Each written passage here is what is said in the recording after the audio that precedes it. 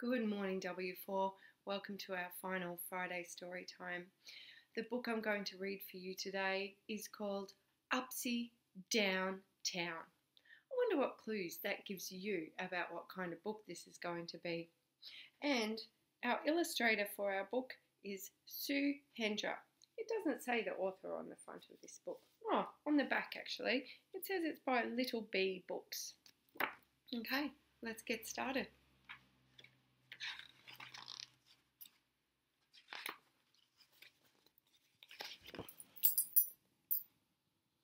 In Upsy Down Town, the sky is in the sea, and the fish are in the air where the birds should be. The rain is falling up instead of falling down in the world of Upsy Down Town.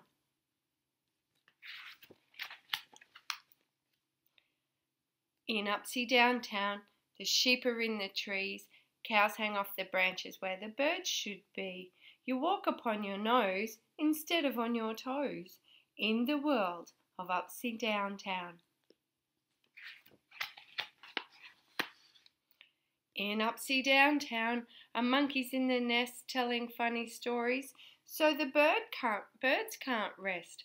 No one knows why. There's a tiger flying by in the world of Upsy Down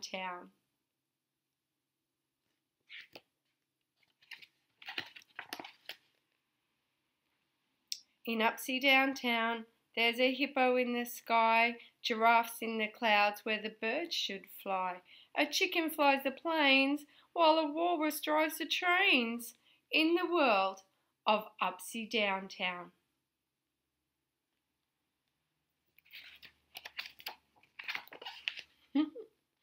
in Upsy Down Town, the elephants are thin, nothing's as it should be, so the birds can't win.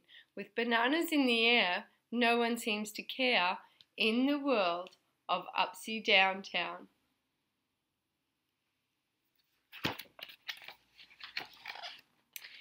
In Upsy Down Town, the birds begin to hop, the rabbits start to fly, then the birds shout. Do you think the birds are going to shout?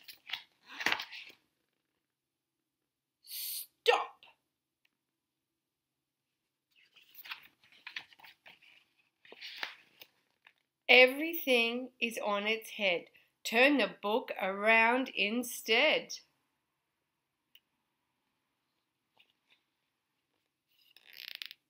In Downy Uptown, the sea is down below, the clouds are in the sky, the fish know where to go.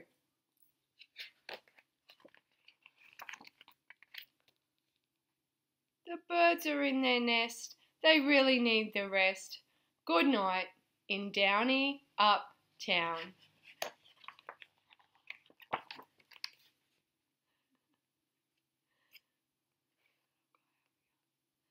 The end.